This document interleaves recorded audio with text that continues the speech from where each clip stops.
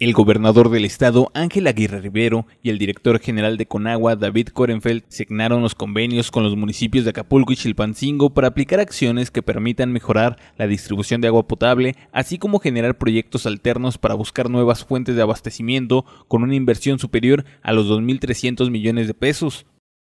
Que sean testigos de este documento que hoy estamos suscribiendo. Un documento donde de manera corresponsable Asignaremos recursos, el gobierno del Estado, el gobierno federal y los municipios para dar pasos importantes en el abatimiento del problema del agua, del alcantarillado, del drenaje que hoy se siguen presentando en diversas regiones de nuestro Estado.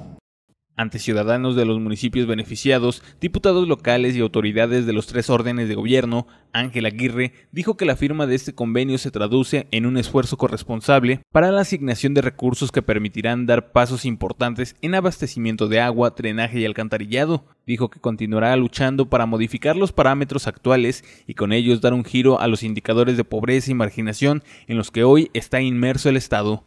De Agencia de Noticias Guerrero, Carlos Navarrete.